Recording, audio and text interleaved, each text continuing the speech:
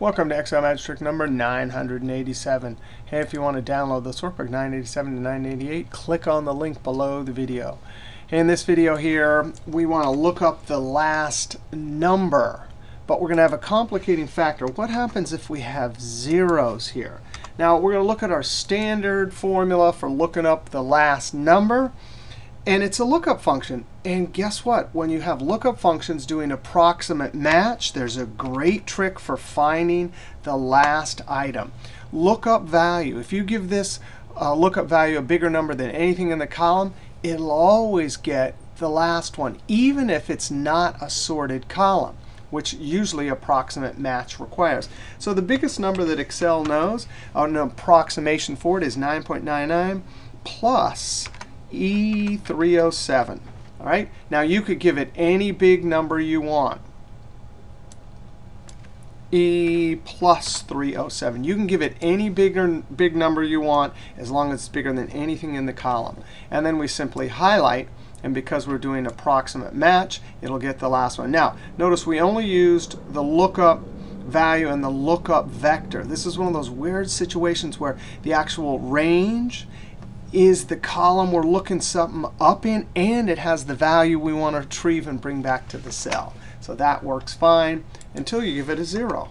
Right? So the approximate match is just racing down, and it's always going to take that last number, even if it's 0. So now let's amend this. And what we're going to do here is we're going to use a lookup vector and a result vector. So we need to just isolate only the numbers that are greater than 0. So I'm going to say greater than 0. Now this will give me trues and falses, right?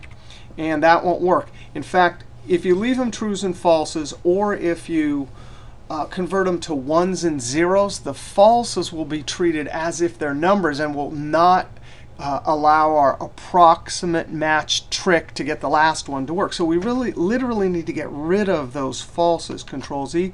I'm going to do that with division, 1 divided by.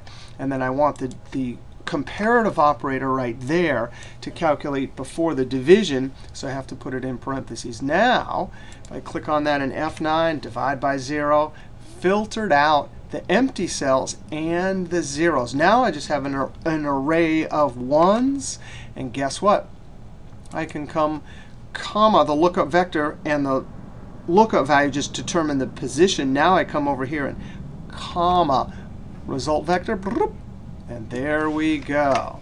Now we can improve this one more because remember our array right here, F9, is just filled with ones. It's never going to be ever be bigger than 1. So I can just put some number bigger hey, I'm going to use a 2. And that formula will work. Control Enter. And it doesn't matter what we're putting down here. It'll always get that uh, last one, even if a 0 happens to be after the last number we're looking to put in the cell. All right, we'll see you next trick.